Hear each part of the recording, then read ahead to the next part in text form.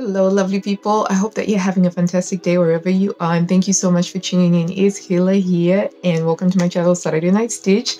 So, today um, is a little bit of a mishmash. I've got some finished projects to share, got a little bit of a fabric haul, and I'll do a little bit of a segment of Where's Hila at, wherein I show you what I'm actually working on at the moment. Now, it's been quite a while, and I can't believe, first of all, that we're already headed towards the summer solstice, which is probably about a week away from the time of recording this. Hopefully, I managed to get this out sooner rather than later because lately I've been finding that I've got a lot of recorded content, but it's just making time for the editing and actually posting it.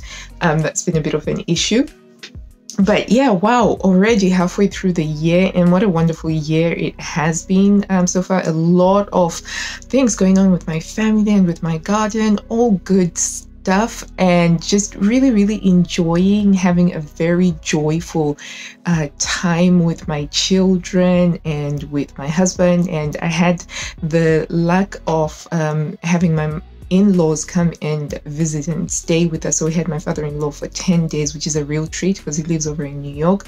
And we also had my mother-in-law coming, uh, particularly over the half term. So that was really, really quite wonderful and quite nice and a lot of stuff going on with the garden as well. So I'm, I'm doing a lot of joyful stuff, and consequently, there's a little bit less time in the sewing cave, despite the fact that I am absolutely loving wearing all of the dresses that I have already made. Which brings me to this dress here, which is a simple sew cocoon dress, which is in yellow. And yes, it's got a lot of warm tones, and this is definitely not my colors. But one of the things that I did after I got my colors done was I um I went through my clothes to separate out the ones that were in my colors and the ones that were not in my colors. And this was a process that took like several weeks and several months by the time I got to my uh, summer uh, summer wardrobe.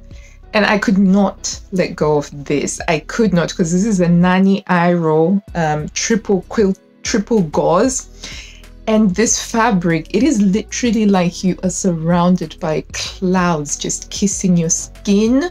It is so comfortable in a way that silk or other fabrics cannot touch. It is very, very comfortable. And because it's like a triple quilt, it also feels quite um subset like it doesn't feel flimsy but at the same time it is so light and comfortable um, on me. So even on the hottest of days where i'm absolutely like really hot and sweaty this is actually really comfortable to wear. So i thought you know what? Yes the colors are not within my colors but i love this. And it does have the bluey turquoisey thing. So i still wear it. I still wear it. Um, and today is just such a day. It's really quite nice and lovely and sunny and hot except for the few clouds that pass by. So I've been having actually a lot of fun uh, going uh, through my clothes and actually uh, putting on. And I'm gonna show you later on, sort of like a um, a project from the pack from the vault, like that I did like years ago, and I've just rediscovered it, and I'm absolutely loving it. So do stay tuned for that. Okay, so um, in terms of sewing. Um, I have my little sewing calendar um, over there, which is puppies this year in 2022. And I looked at it. So basically, I update every time that I've done any sewing, any project that I finish, I'll write it in there just so that I've got an easy record of what I'm actually doing. And initially, it was done as a way of trying to keep me sewing on a regular basis, but that was too, it was creating too much of a negative mindset with, you know, like I must sew, I must sew rather than just sewing for the joy of it. So now it just evolved into something that's more like just a, a record keeping rather than a thing that is supposed to push me to have something written down every month. But surprisingly, in April, I did not get any sewing done at all in April. So there was no sewing. Um, so these are the things that I have sewn um, basically in May, May and June. So I am going to start off with the Jubilee stuff. So I did a fabric haul a few months ago about some of the Jubilee stuff. I was so excited about the Jubilee, had a really fabulous time with it. We even made the, well, we tried to make our own version of the um, Platinum Jubilee uh, pudding, which has got like a lemon Swiss roll and all that. Um, but it was too fluffy for all of the other stuff, but we made a simplified version of it. But we had such a fabulous time. Really enjoyed watching the pageantry and all that and seeing all of the lovely hats and the lovely garments that were being uh, worn. So we made some bunting, and this is one of the pieces of bunting. And the kids were in charge of making the bunting. So it was cutting out the rectangles and um, sewing them up. And so that was really fun. And they got like a little assembly line going. And then we made up this bunting that we put up in the garden. And that was fabulous. I also made some Union Jack uh, fabric skirts for um, the twins and a Union Jack little flat cap uh, for my son. So the they were having a Jubilee picnic at school and they were encouraged to come dressed in uh, red, navy, and white if they wanted to so of course we went and we got some fabric and we made the little hat and we made um, the skirt so i'll put the picture um, over there I don't actually have the hat because my son has taken to wearing it um, every day now because he absolutely loves the little flat cap and i used this pattern here Burda 9507, which is like a really great pattern because it's got all these different types of hats. And I did view C over there, which came together very, very quickly and very easily. I was quite hesitant about making it because I wasn't sure if I could pull it off, but it worked out quite well. So those were the Jubilee things um, that we made. And then the next thing that I made was a, a pair of shorts for my husband uh, for a birthday. Now, I have to confess and admit that this was an unfinished project. It was in the UFO box for, I think, probably three or four four years. I think I cut it out about four years ago. and so I finally got around to finishing to finishing it. And it's um oh, where are you?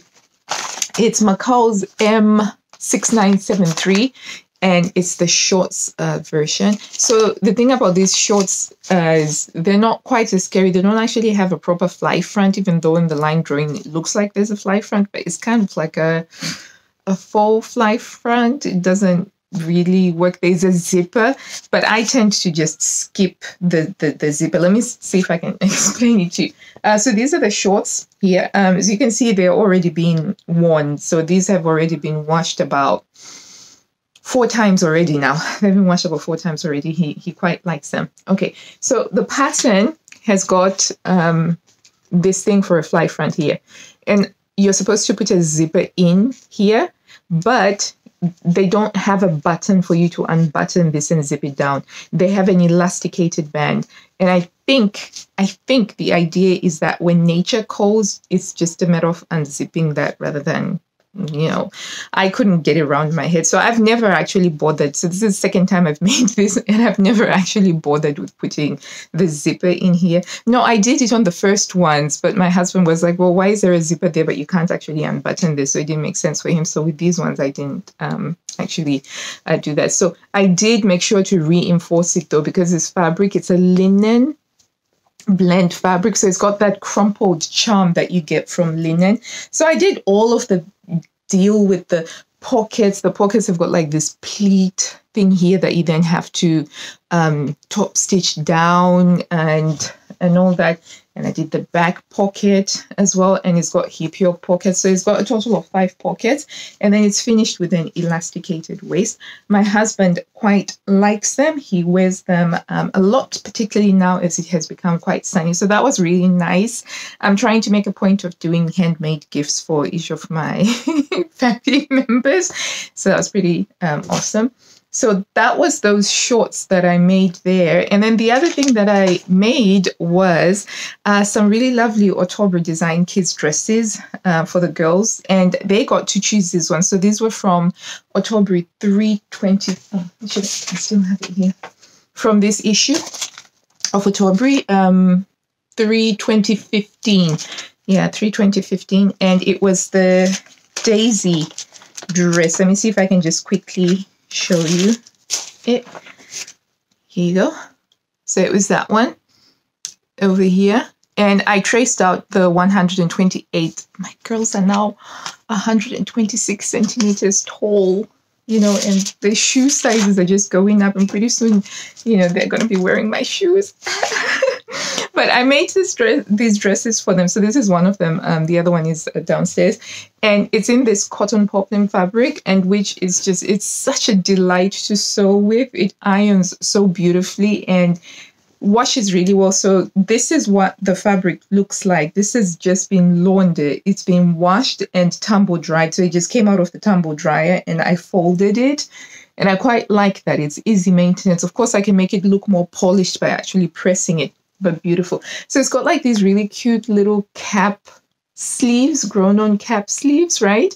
And then it's got um, a little bit of an origami pleat here uh, detail and a high empire waist, which I highlighted with some rickrack. And over at the back, it's got a zip here and there's also some pleats over there and I lined just the bodice. The pattern actually calls for you to line the whole dress because the recommended fabric in the magazine is a voile and batiste, so very lightweight fabric. So they recommend double doubling them up, but I didn't bother doing that. I just I just did it by hand. So this is a Liberty cotton Tana lawn, but I ran out. So the other dress is pink, all of the bodice, but then I ran out. And so I just used a white uh, cotton muslin uh, over here and some hand sewing around there and all that. And the girls, they absolutely love them. They fit. The only alterations that I did make was to add some pockets because pockets are everything.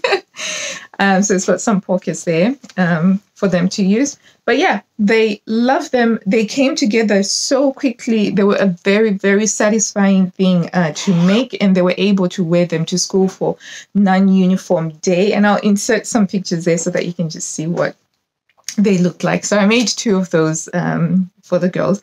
And then I actually was in the mood for doing some sewing for myself. And I just, I wanted something that was instant gratification. And I was umming and ahhing about, oh, what could it be? What could it be?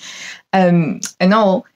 And I actually made myself a simple sew Shannon dress, another one. So I made it in this really lovely, bright, summery uh, French terry that I bought from Fabrics for All last year because I was really frustrated that we were having a late winter. So we'd gotten up to about end of May and we were still having some hailstone.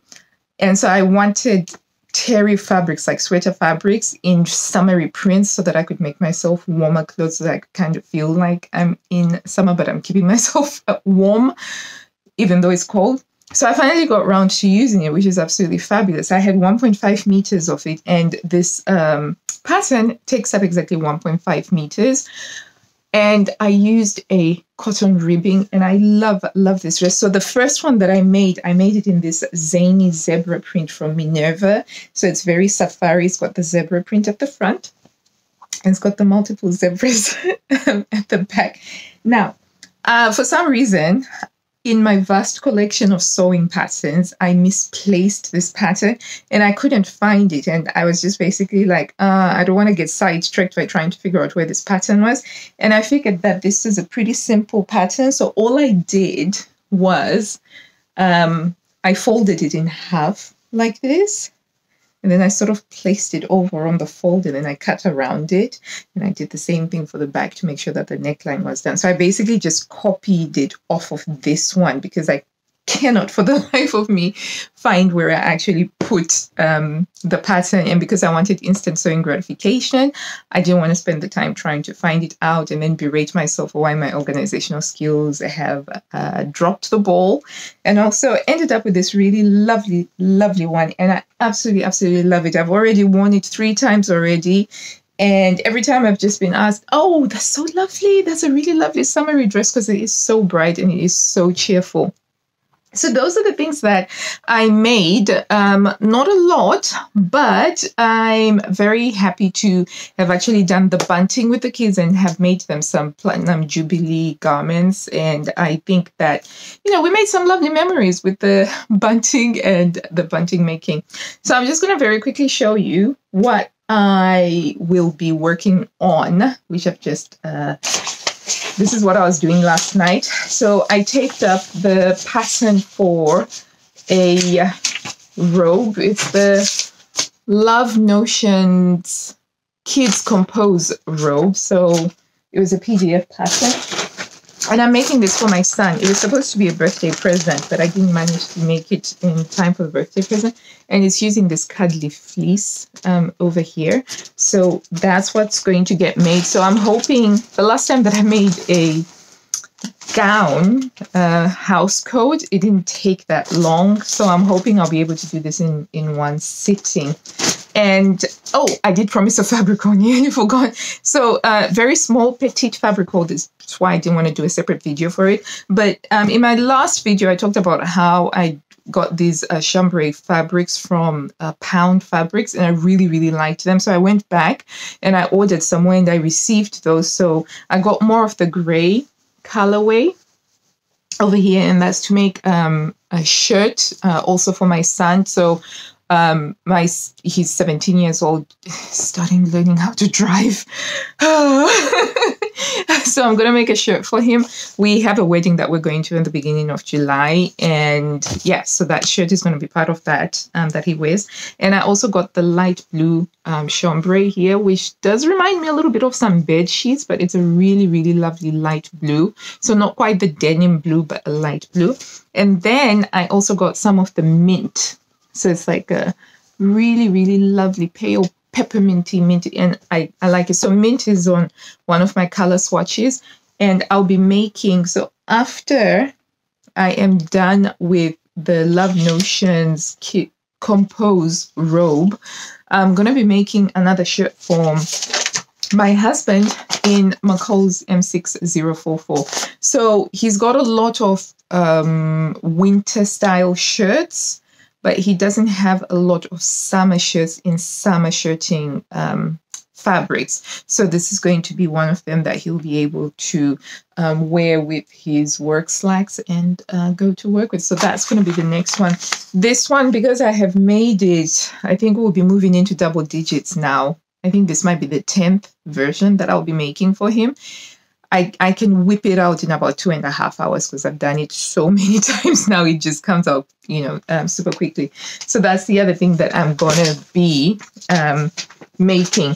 And then after that, I cut out the pattern um, for my gardening uh, coveralls, which I've cut out a pattern uh, a size that's a little bit bigger because these are going to be utility you know, trousers, but they're supposed to make me look elegant as well whilst I'm digging and working in the garden.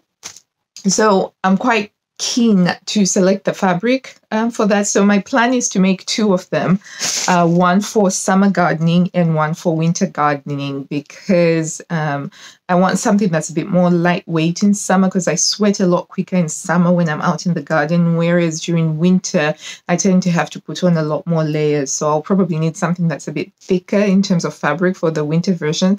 But I'm not going to be doing the winter version now. Right now, I'm going to be doing the summer version. So I'm going to have a look through my my fabric stash to see if I can find some linen or you know a linen viscose mix, but you know something that is also breathable.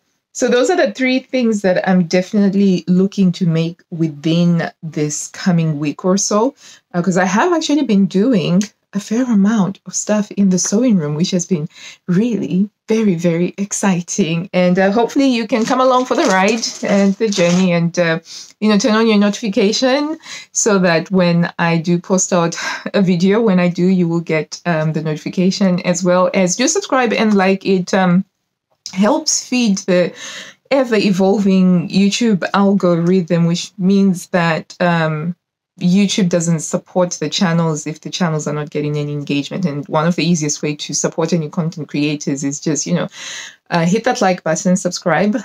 Also comment. Comments are also always, always welcome. I may not get around to responding, but I do read every single comment and it's just really lovely.